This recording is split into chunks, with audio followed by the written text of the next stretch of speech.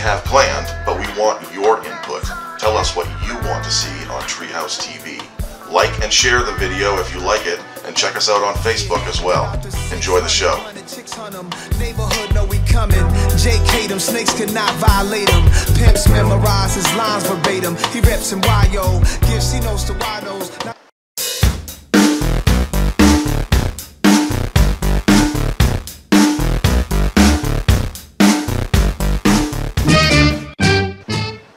Today's Treehouse tip, we're going to talk about aerated compost tea. Simply put, it is a liquid medium filled with billions of beneficial organisms, including fungi and bacteria. And what it provides for you is more efficient nutrient uptake and healthier, more disease and pest resistant plants. And we're going to show you how to make it right now. Run up and get done up, or get something that you want none of. Unlimited amount you collect from us, direct from us, street intellectuals. And I'm shrewd about decimals. And my man to speak patois. And I can speak rap star, y'all feel me. Even if it's in Swahili, a body got. Here we are, getting ready to brew some aerated compost tea. We have a five gallon bucket full of water, two air stones hooked up to a decent size air pump with dual outputs. And we've been bubbling it for a little while to get the oxygen content up in the water.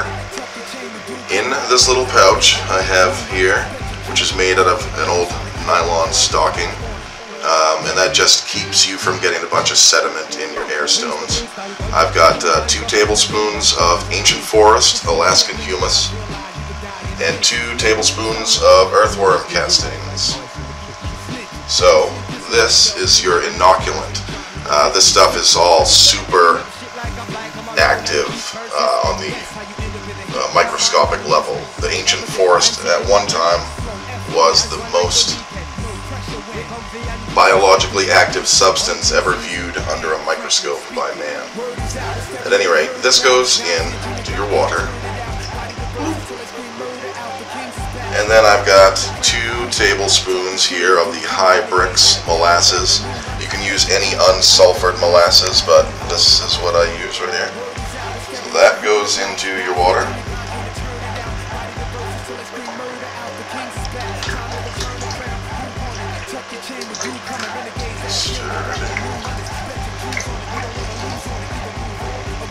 Alright, and then I have two tablespoons of uh, basically any organic grow fertilizer that contains kelp or fish extracts will do. You really, really want that liquid kelp in there. So I got two tablespoons of that going into the mix. That's that.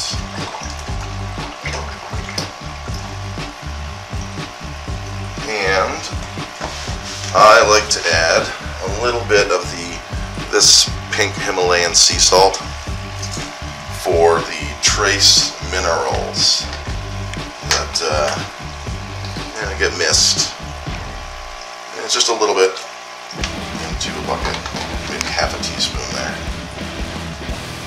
So we're going to let this bubble and brew for 24 hours, and then we're going to come back to it, and there should be uh, visible signs of activity in there. This should be teeming with life in 24 hours.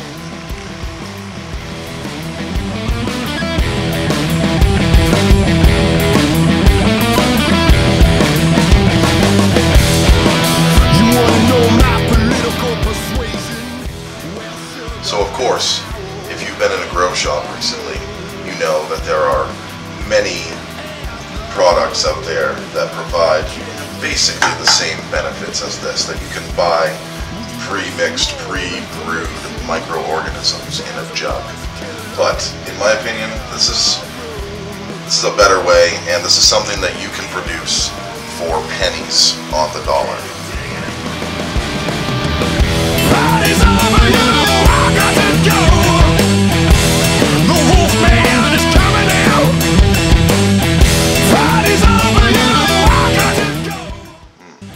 This is Cosmos Kush. It has been around a while, and a lot of you are familiar with it already, but I wanted to give a little bit of background for those who are not. Cosmos Kush started back in 2011 um, with a pack of OG Chem from Connoisseur Genetics. Uh, and if you are not familiar with Connoisseur Genetics, uh, I can say from experience that their, their stuff is fire.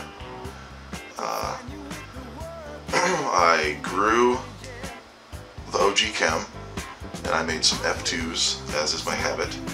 And then I grew out some F2s and I found a very special gem we kept around for a while and people were calling it the Lilac Kush because it was the most floral, perfumey, and fuely smelling uh, Kush that we had ever smelled. I would bust this stuff out and people would ask me if my wife had had it in her purse.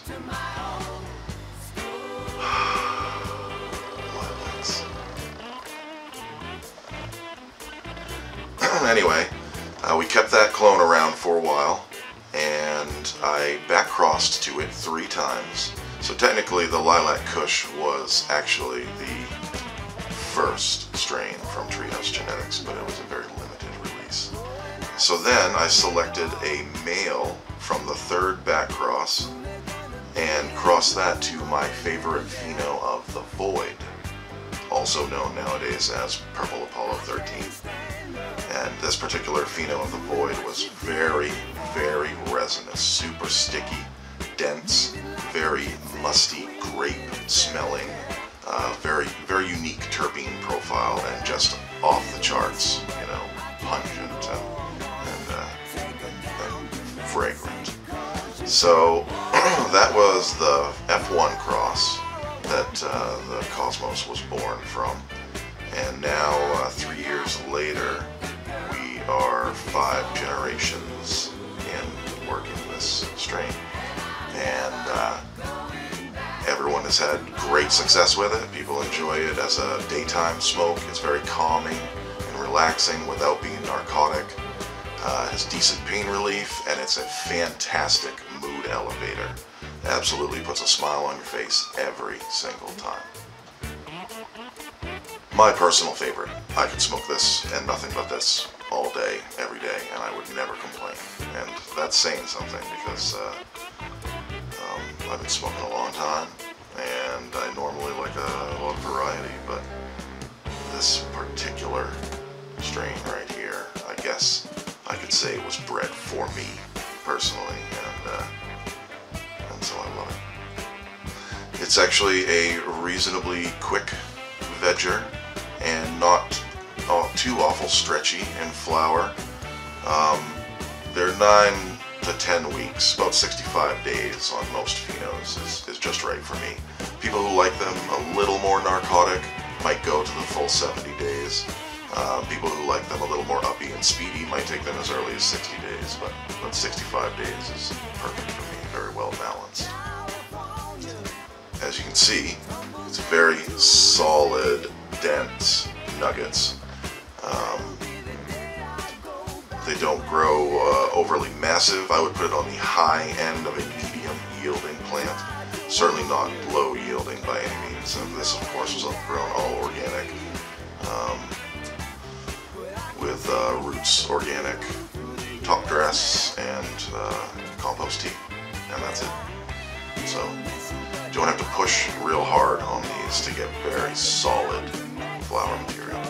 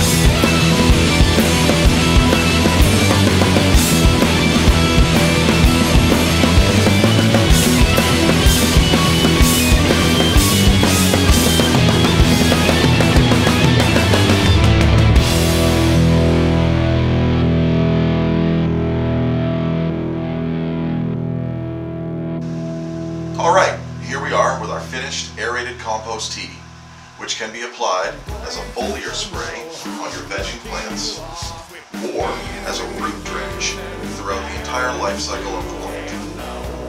Thanks for watching Treehouse Genetics TV. We hope that you enjoyed the show. We'll see you next time.